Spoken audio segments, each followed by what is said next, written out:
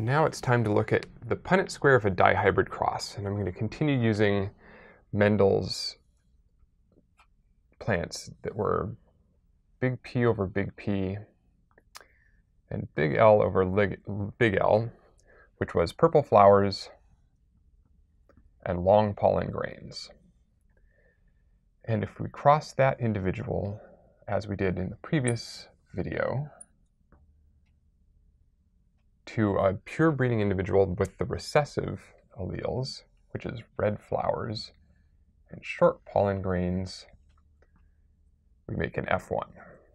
That's a dihybrid. Heterozygous at both loci. And what we want to do now is look at, this by the way was how we defined dominance. This was a purple flowered, long pollen grained plant. And if we perform a dihybrid cross, crossing two dihybrids, two heterozygotes at two loci together, we're going to generate gametes of particular types. There are going to be four gametes produced by each of these parents. The parents have the same genotypes. So we'll have big P's with big L's. We'll have big P's with little L's. We'll have little P's big L's and little p's with little l's. And this was all part of Mendel's second law independent assortment that we saw earlier. Now, what I want to do next is to set up the Punnett square to represent this cross. So we've already written out the gametes of one parent on one axis of the Punnett square. And now we can write out the same over here.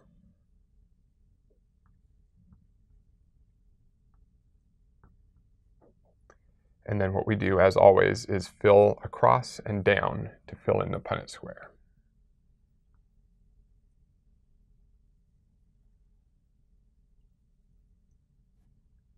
So here are all of the different genotypes that are produced by this cross. We've got four different haplotypes from each parent, and the different genotypes they'll create in combinations.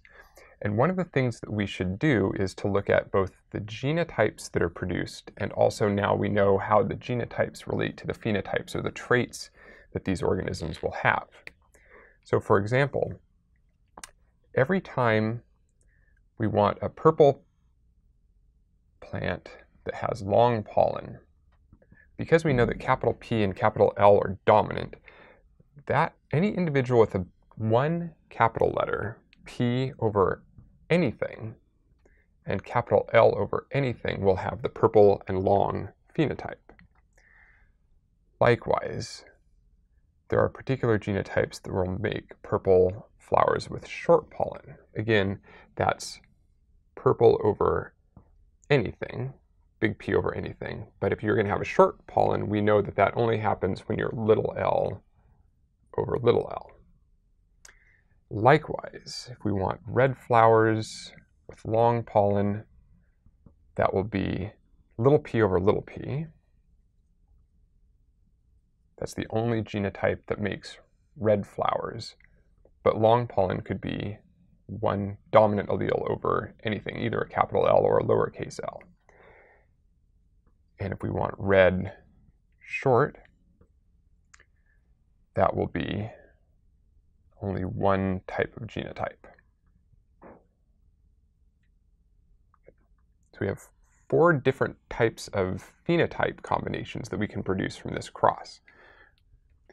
And what I'd encourage you to do now is to look through this entire table and figure out how many of these genotypes and those genotypes and those and those, there are four different types of genotypes, how many of those phenotypes are there? How many P over anything, capital L over anything do we have? So every row that has a capital P in it is going to produce an individual that has at least one capital P, and every column likewise.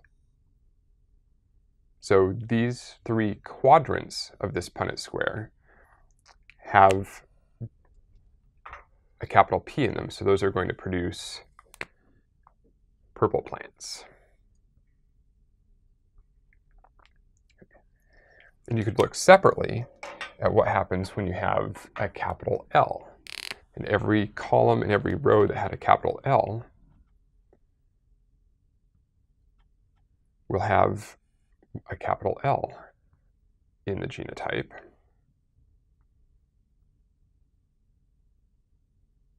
And so again, we find that there are nine of these squares that have long pollen. Some of those we're going to have a green dot and a pink dot We'll have both the purple and the long. One, two, three, four, five, six, seven, eight, nine. So what we're doing now is we're looking at a phenotype ratio.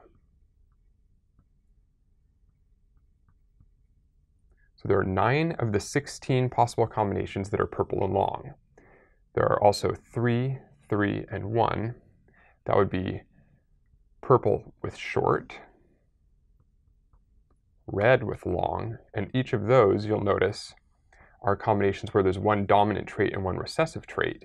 And then the very rarest phenotypic combination, red flowers with short pollen, is only one square down there in the bottom right hand corner where we have a homozygote for both recessive alleles. Now that's the phenotype ratio. 9 to 3 to 3 to 1. That's the expected ratio of the output of a dihybrid cross. We could also look at the genotype ratio, and I'm going to ask you to do this on your own. Tabulate how many different genotypes are there among these 16 squares and what ratio are they in?